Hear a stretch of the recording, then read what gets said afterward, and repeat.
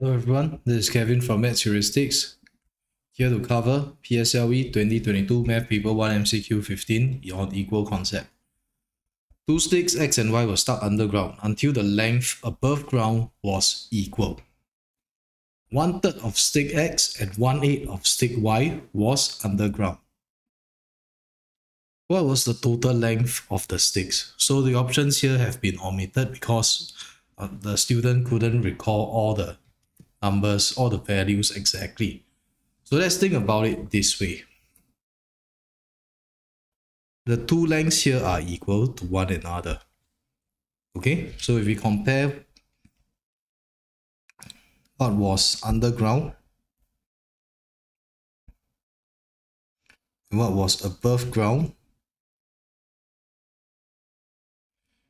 and the total length of the sticks between stick X and stick Y. Using the unit transfer method, we can tabulate and organize the information like so.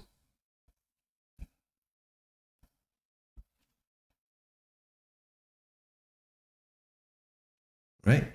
So above, okay, underground for X was 1 out of a total of 3. Whereas for Y, Y was 1 out of a total of 8. So the above ground portion here will be 7 and the above ground portion here will be 2. So these are 2 units and these are 7 parts. We note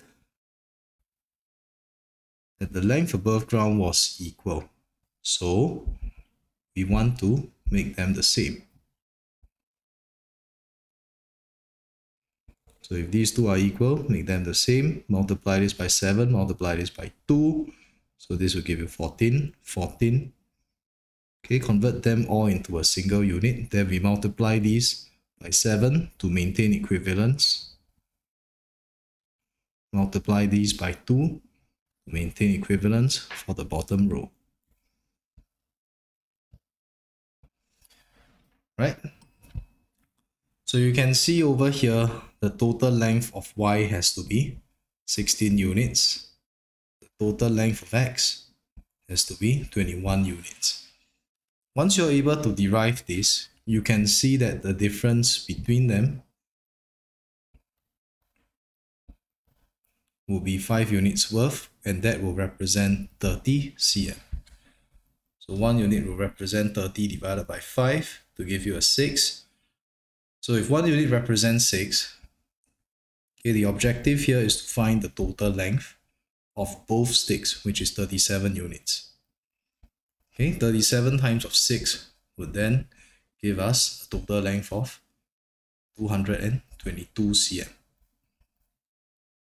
Okay, so one of our students, he practiced paper 1 with us so well that he had 25 minutes remaining and I think he couldn't see that he needed to apply equal concept. So what he did was for MCQ, remember this is MCQ, uh, he took all the options and worked backwards and eventually got the answer.